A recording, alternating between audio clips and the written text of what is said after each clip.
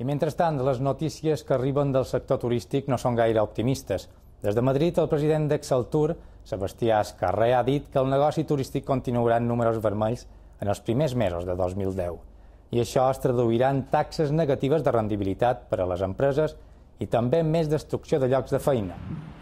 Avui també han fet balanç les cadenes hoteleres de les Illes Balears.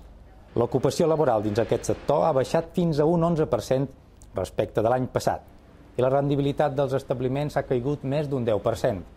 Des del sector aplaudeixen mesures preses pel govern balear, com el decret Nadal i el decret Grimalt, per accelerar obres de reforma i reduir la burocràcia.